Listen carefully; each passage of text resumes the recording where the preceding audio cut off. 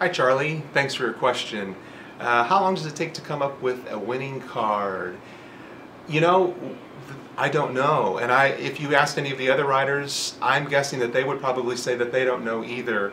And that's why it's so important to always um, just stay on top of our writing. I, have had uh, my manager and I've had other writers tell me uh, not to wait on my writing. You know, a lot of times we, we kind of sit and we may be looking out the window and waiting for inspiration to come. And I think probably the, the better thing to do, I don't always do it, but I really try to just to stay focused, either writing down ideas or keeping my pen on a pad of paper or my fingers on the keyboard um, because you don't know when that inspiration is going to come. But the only way that it can come is if you're actively writing. So um, as long as I'm not you know, giving up on my writing, if I'm uh, actively involved in either kind of pre-writing, taking all my notes, gathering all my research, and I'm involved in, in making it, um, the chances of getting a winning idea are going to increase. But if I'm kind of distanced from it, if I'm, you know, my hands are, aren't on the keyboard, if I'm not writing,